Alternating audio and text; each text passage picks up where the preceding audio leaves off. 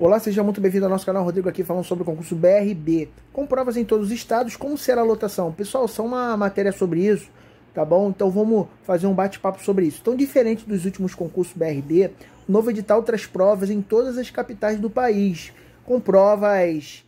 É, aí, né? Provas em todas as capitais do país, mas como será a lotação dos aprovados, beleza? É, mas mesmo com a publicação do edital, muitos interessados na seleção ainda têm dúvidas sobre o processo. Então, nesse ano, a, novidade diz respeito à aplicação das provas que ocorrerá em todas as capitais do país. Olha o top. Não vai precisar você viajar. Né? Você vai poder fazer prova aí, talvez, perto da sua casa.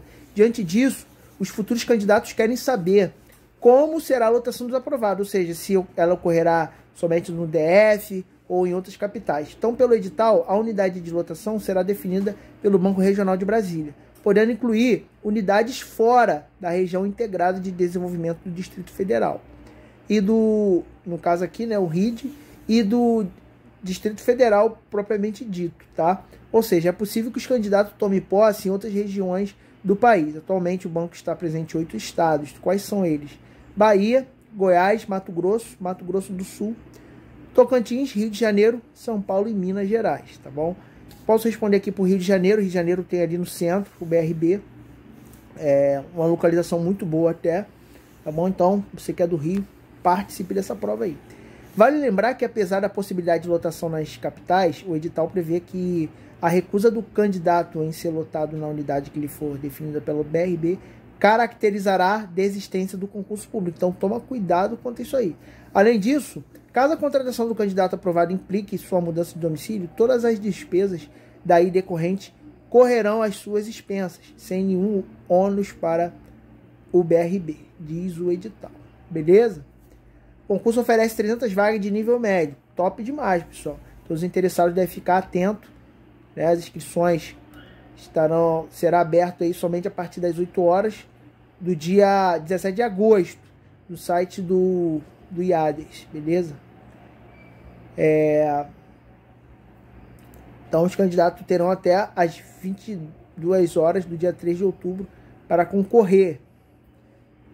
A taxa de inscrição é de R$ 66,50. O valor poderá ser pago até o dia 4 de outubro. Então, pessoal, estou dando aqui é, prazos, datas, né? Tô até evitando falar um pouco disso, por quê? Porque a questão de cronograma de concurso sofre muitas alterações.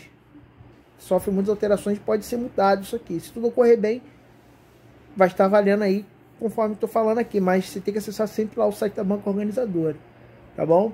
Então, os inscritos no CAD único para programas sociais do governo federal, doadores de sangue, prestadores de serviço em período eleitorais ou aqueles que exerçam a atividade de comissário o agente de proteção da infância e juventude do DF poderão solicitar isenção, beleza? Já os doadores de medula óssea poderão pedir a redução da taxa em 50%. O prazo em ambos os casos ficará aberto entre os dias 27 de julho a 5 de agosto. Então, atenção aí quanto aos prazos, beleza? Então, o escriturário está tirando aí 3.764,66 centavos para a jornada de 30 horas. Então tem os benefícios, a participação dos lucros no resultado, plano de saúde, plano de previdência complementar, auxílio refeição, alimentação, auxílio sexta alimentação. Top demais. Então as provas aí, final do ano, prevista para novembro. E vamos ficar atento aí quanto a isso, tá bom?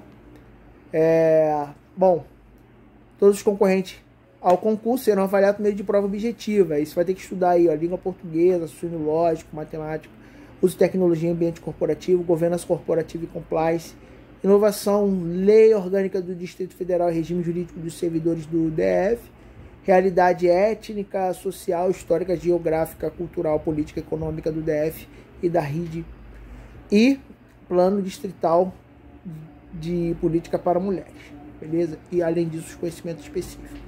E aí, vai encarar a prova? Né? Lembrando que os 600 primeiros habilitados terão suas provas discursivas corrigidas, tá bom? O resultado final previsto para 10 de fevereiro de 2023, mas volto aqui falar, quando o assunto é cronograma, pode haver alterações, beleza? E é isso, fico por aqui até o próximo vídeo, os melhores materiais, concurso aí do BRB, e descrição desse vídeo nos comentários. Até a próxima, fui!